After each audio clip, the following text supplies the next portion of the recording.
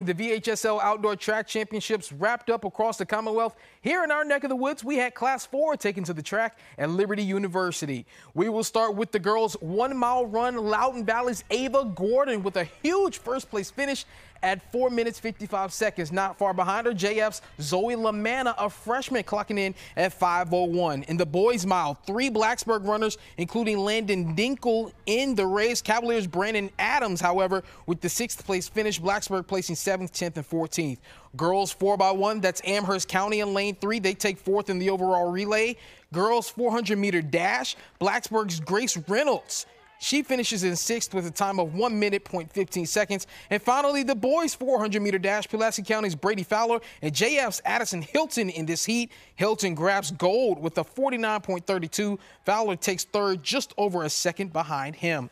Looking at team results, Loudoun Valley swept the event in both boys and girls. JF girls would finish second, while a high-scoring boys team was Blacksburg at fifth. In Harrisonburg, the Class 2 girls title goes to Glenvar after Carly Wilkes and Sydney Loader each won two individual titles. Glenvar also won the 4x4 relay. Stuarts Draft won the boys team title with Glenvar not far behind. And in Class 6, congratulations to Kylie Cooper of Franklin County for winning the girls 800 meter run.